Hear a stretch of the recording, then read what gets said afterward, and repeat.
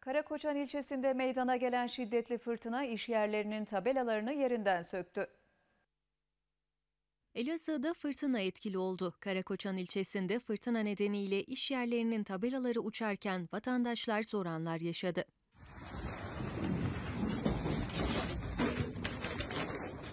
Yaşanan fırtına nedeniyle tabelaların yere düşme anı ise cep telefonuyla görüntülendi.